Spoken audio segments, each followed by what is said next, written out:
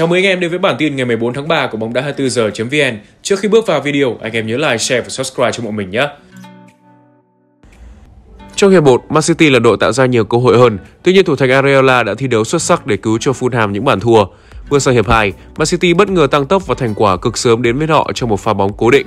Phút 47, từ quả đá phạt bên cánh trái của Cancelo. Trung vệ John Stone đã băng vào cực nhanh dứt điểm cận thành để mở tỷ số cho đội khách. Chỉ 9 phút sau, một pha phối hợp lúng túng của đội chủ nhà đã biếu không cho Jesus cơ hội không thể ngon ăn hơn.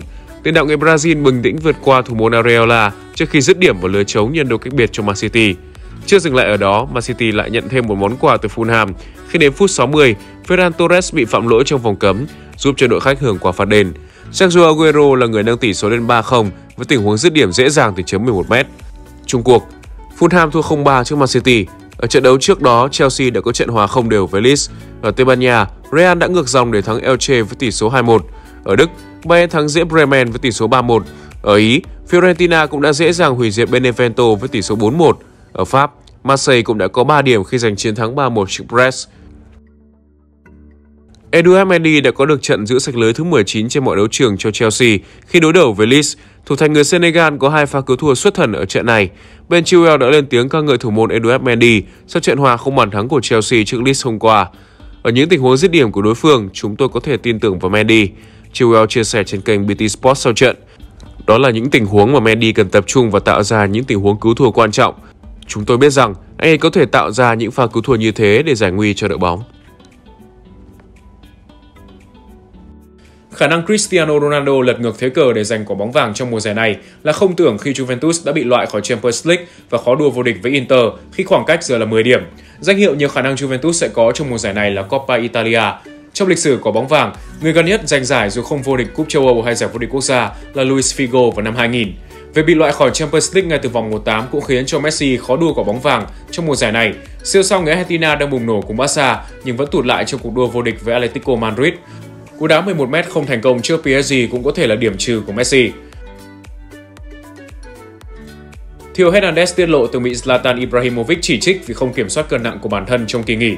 Ibra truyền cho chúng tôi sự can đảm, nhiều lời khuyên và đôi khi thậm chí mắng chúng tôi nữa. Dù vậy tất cả điều đó cũng chỉ để làm chúng tôi tốt lên. Khi trở về sau kỳ nghỉ, anh ấy nói, cậu định làm cái quái gì ở đây với 90kg vậy? Lúc đó tôi đã béo hơn một chút. Theo Hernandez chia sẻ với Sportweek, Ibra đóng vai trò quan trọng trên hành trình cạnh tranh ngôi vương tại Serie A mùa này của AC Milan. Tiền đạo 39 tuổi ghi 14 bàn sau 14 trận ở giải vô địch quốc gia, giúp đội bóng áo sọc đỏ đen giữ vị trí nhì bảng.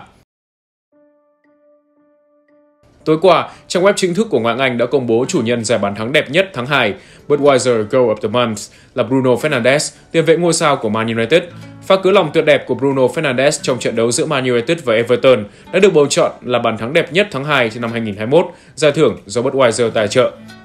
Tiền vệ của MU nhà bóng cho Aaron Wan-Bissaka bên cánh phải trước khi nhận đường truyền của hậu vệ này ở vị trí ngay sát vòng cấm do gục Robin Olsen bằng một cú cứa lòng hiểm hóc. Đây là lần thứ hai Fernandes nhận giải thưởng bàn thắng đẹp nhất tháng sau khi được Premier League vinh danh vào tháng 6 năm 2020 trong bàn thắng của anh trước Brighton and Hove Albion. Hansi Flick được coi là một trong những ứng viên tiềm năng kế nhiệm Löw. Dù vậy, thuyền trưởng đương nhiệm của Bayern Munich khẳng định không quan tâm đến ghế nóng đội tuyển quốc gia. Flick nói với các phóng viên, Tôi còn hợp đồng đến năm 2023 và muốn thành công cũng như giành được những danh hiệu cùng Bayern Munich. Đây không phải là lúc để suy đoán về tương lai của tôi. Tôi quan tâm đến câu lạc bộ của mình và vào những gì trước mắt. Tôi hiện đang dẫn dắt Bayern và chuẩn bị có trận đấu với Werder Bremen. Như tôi đã nói, những suy đoán không phải là vấn đề với tôi. Flick không phải là huấn luyện viên tên tuổi duy nhất được liệt kê vào danh sách có thể dẫn dắt đội tuyển Đức. Jurgen Klopp cũng nằm trong đó bên cạnh Ralf Rangnick, người thừa nhận sẵn sàng tiếp quản nhiệm vụ tại Die Mannschaft. Tại vòng 28 Ngoại hạng Anh, Tottenham làm khách trên sân của Arsenal. Spurs vừa có bước chạy đà thuận lợi khi đánh bại Dinamo Zagreb 2-0 ở lượt đi vòng 1/8 Europa League. Nói về trận đấu tại sân Emirates, tiền đạo Son Heung-min của Tottenham khẳng định: Sau khoảng thời gian khó khăn, chúng tôi đã tìm được sự ổn định. Những chiến thắng thuyết phục trong thời gian qua đã cho thấy điều đó. Tottenham đang có tinh thần tốt. Chúng tôi hy vọng có thể nối dài chuỗi trận thắng. Huấn luyện viên đang làm tốt công việc của mình. Bất kỳ đội bóng nào cũng gặp phải những khó khăn, nhưng Mourinho cho thấy ông ấy sẽ không bao giờ bỏ cuộc. Đó là lý do cho thấy rằng ông ấy là một trong những huấn luyện viên hay nhất thế giới. Vì vậy tôi cũng nghĩ những chỉ trích nhằm vào Mourinho là không công bằng. Trận đấu với Arsenal sẽ rất khó khăn, nhưng chúng tôi sẽ vào cuộc với quyết tâm cao nhất. Tottenham đến sân Emirates với mục tiêu giành 3 điểm, toàn đội sẽ nỗ lực để giành chiến thắng.